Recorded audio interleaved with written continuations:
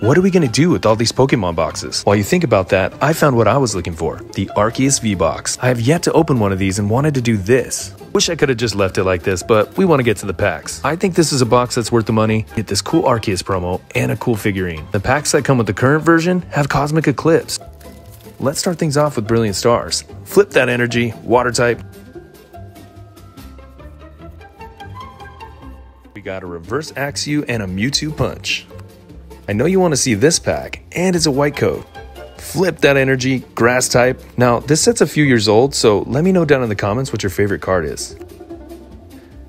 Mine is this reverse Gallade, and the hit was a Victini Holo. I really like the colors on this. Let me know what you think and what we should open next.